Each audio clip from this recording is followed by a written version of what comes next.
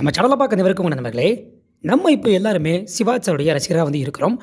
நம்மகிட்ட உங்களுக்கு பிடிச்ச நடிகை யார் அப்படின்னு சொல்லி கேட்டால் குறிப்பிட்டு நம்ம யாரை சொல்லுவோம்? பத்மினியை சொல்லுவோம் கேர விஜயாவை சொல்லுவோம் மஞ்சுளாவை சொல்லுவோம். இப்படி ஒரு சில கதாநாயகிகளை மட்டும்தான் நம்ம வந்து சொல்லுவோம். நம்ம பார்த்து ரசித்த நடிகைகள் இவ்வளோ பேர் இருந்தாலுமே நம்ம படத்தில் அதிகமாக கவனிக்காத ஒரு நடிகை யாரும் பார்த்தீங்க அப்படின்னா சிஐடி சகுந்தலா அவங்க தான். ஏன் அப்படி சொல்கிறேன்னா இப்போ பத்மினியும் மஞ்சுளாவும் கே விஜயாவும் நடிச்சிட்டு இருந்த அந்த ஒரு காலகட்டத்தில் தான் கவர்ச்சி நடிகையாக வளம் வந்துட்டு இருந்தாங்க. இவங்க எப்படின்னா சிவாஜியோடைய படங்களில் வந்து பாடல்களில் மட்டும்தான் வந்து வந்துட்டு போயிட்டு இருந்தாங்க ஒரு சில படங்களில் முக்கியமான லீட் ரோல் வந்து நடிச்சிருக்காங்க. இன்றைக்கி நம்ம இந்த ஒரு வீடியோவில் இவங்களை பற்றி தான் வந்து பார்க்க போகிறோம் இவங்களை பற்றி பேசுறதுக்கான காரணம் என்ன அப்படிங்கிறது உங்க எல்லாத்துக்குமே தெரிஞ்சிருக்கும். இவங்க போன பதினேழாம் தேதி தன்னுடைய எண்பத்தி நான்காவது வயதில் பெங்களூரில் காலமாயிட்டாங்க. ஸோ அதனால் இவங்களை பற்றி நம்ம ரசிகர்களுக்கு சொல்லணும் அப்படின்றதுக்காகவும் இந்த ஒரு நடிகையை பற்றி நம்ம மட்டும் இல்லாமல் இனிமேல் அதுக்கடுத்து எல்லாரும் பேசணும் அப்படின்றதுக்காக தான் இந்த ஒரு வீடியோ வந்து நான் மேக் பண்ணியிருக்கேன். ஸோ இந்த ஒரு வீடியோ வீடியோவில் இவங்களுடைய வாழ்க்கை வரலாறு பற்றி கம்மியாகவும் இவங்க சிவாச்சார் கூட பயணித்த திரை வாழ்க்கையை பற்றி அதிகமாகவும் நம்ம வந்து பார்க்க போகிறோம் ஸோ எல்லாருமே இந்த ஒரு வீடியோவை ஸ்கிப் பண்ணாமல் கடைசி வரைக்கும் பாருங்கள் சரி வாங்க பார்க்கலாம்.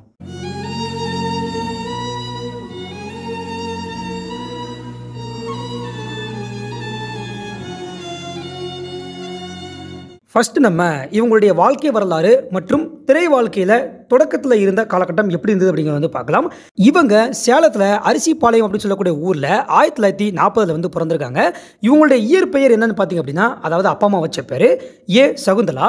அதுக்கப்புறம் தான் இவங்களுக்கு வந்து சிஐடி சகுந்தலா அப்படின்னு சொல்லி பேர் வந்து வந்திருக்கு. அது என்ன அப்படிங்கிறத பின்னாடி பார்க்கலாம்.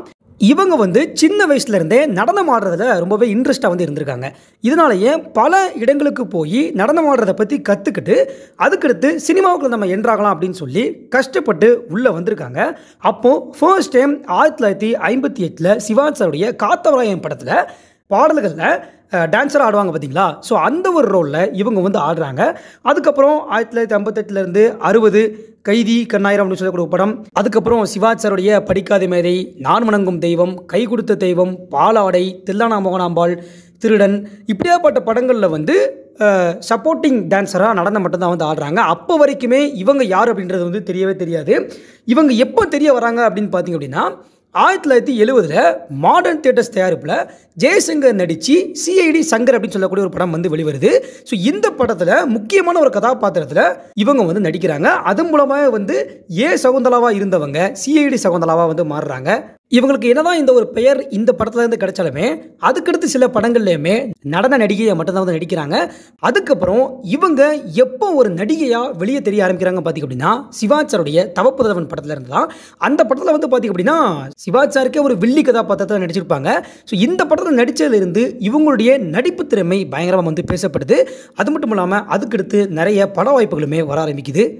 ஓகே இப்போ இவங்க சிவாஜ் சருடைய எந்தெந்த படங்களில் எந்தெந்த கதாபாத்திரங்களை நடிச்சிருக்காங்க அப்படின்றத வந்து பார்க்கலாம். ஃபஸ்ட்டு தவப்புதல்வன் அதுலேருந்தே வந்து ஆரம்பிக்கலாம். ஆயிரத்தி தொள்ளாயிரத்தி எழுபத்தி ரெண்டு. இதில் வந்து இவங்களுடைய கதாபாத்திரம் விமலா கதாபாத்திரம் ஒரு வில்லி கதாபாத்திரம்.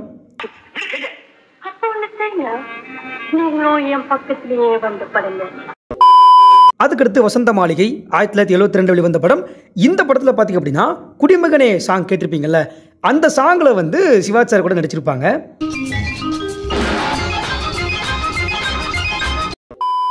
அதுக்கடுத்து நீதி படம் ஆயிரத்தி தொள்ளாயிரத்தி எழுபத்தி ரெண்டு.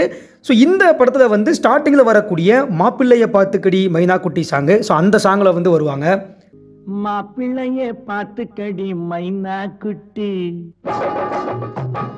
மாப்பிள்ளைய பார்த்து அதுக்கப்புறம் பாரத அஹ், பாரத விலாஸ் படத்துலேயே பார்த்திங்க அப்படின்னா ஒரு பாட்டில் வந்து வந்திருப்பாங்க. அதுக்கப்புறம் ராஜராஜ சோழன் படத்தில் பார்த்திங்க அப்படின்னா ஒரு டான்ஸராக வந்திருப்பாங்க. அதுக்கடுத்து பொன்னுஞ்சல் படம். பொன்னுஞ்சல் படத்தில் பார்த்திங்க அப்படின்னா அதுக்கடுத்து எங்கள் தங்கராஜா. ஸோ இந்த பாட்டை வந்து ஒரு ஆல் டைம் ஃபேவரட் பாட்டு. முத்தங்கள்னு ஒரு பாட்டு. அதுக்கப்புறம் தாய் படம். தாய் படத்தில் பார்த்தீங்க அப்படின்னா ஒரு படத்தில் ஒரு அரை மணி நேரம் கழிச்சு ஒரு சாங் வரும். அந்த சாங்கில் வந்து வந்திருப்பாங்க.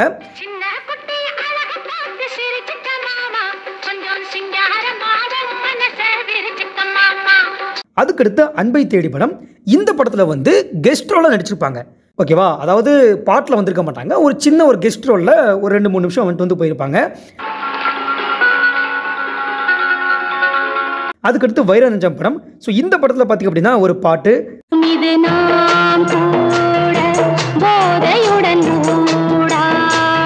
அதுக்கடுத்து ஆயிரத்தி தொள்ளாயிரத்தி எழுபத்தி ஆறில் கிரகப்பிரவேசம் படம்.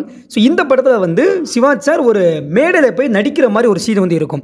அந்த சீனில் சிவாஜ் சார் பக்கத்தில் வந்து இவங்க நடிச்சிருப்பாங்க. அதாவது அந்த மேடை நாயகனுக்கு ஏற்ற மேடை நாயகி கதாபாத்திரம். ஸோ அதில் வந்திருப்பாங்க.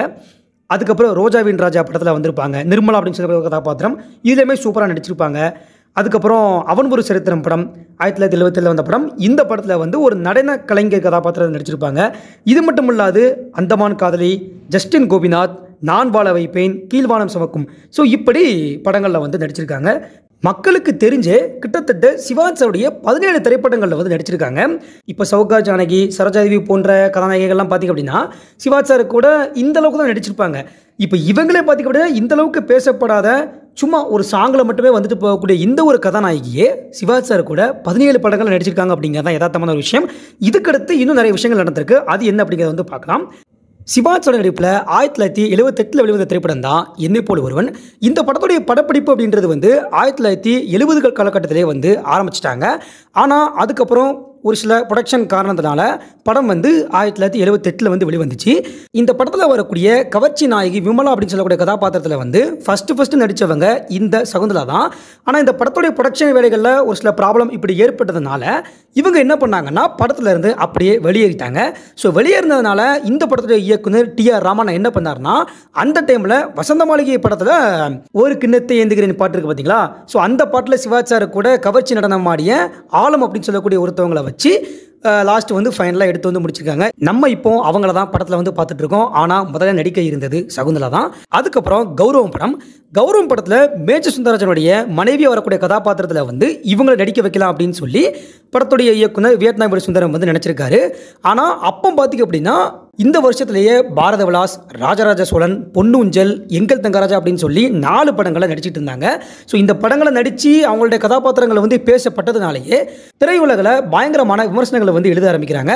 ஸோ இந்த டைமில் சிவாஜி என்ன சொல்கிறார் அப்படின்னா இப்போ நம்ம வந்து இந்த படத்தில் சகோதரா நடிக்க வைக்குது அப்படின்றது பிரச்சனை இல்லை தான் இந்த கதாபாத்திரம் கொஞ்ச நேரம் தான் வந்துட்டு போகிறதுனால இப்போ சகுந்தலா இதில் நடிக்கிறது அப்படின்றது கரெக்டாக இருக்காது. ஏன்னா இதை தவிர்த்து பல திரைப்படங்களில் பெரிய கதாபாத்திரத்தில் இப்போ வந்து நடிச்சிட்டு இருக்காங்க.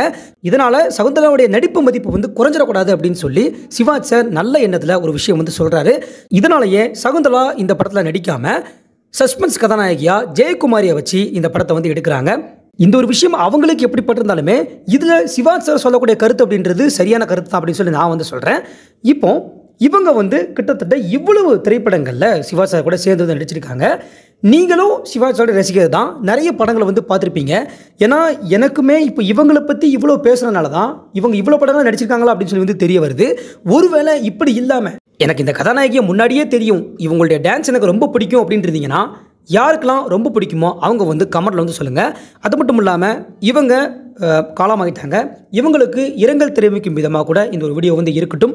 நம்ம வீடியோ பார்க்கக்கூடிய இளைய தலைமுறை மக்கள் வந்து சிவாஜியோட புகழை தெரிஞ்சிட்டு இருந்தாலுமே அது கூட சேர்ந்து அப்போ இருந்த கதாநாயகருடைய புகழையுமே வந்து தெரிஞ்சிட்டு இருந்திருப்பாங்க.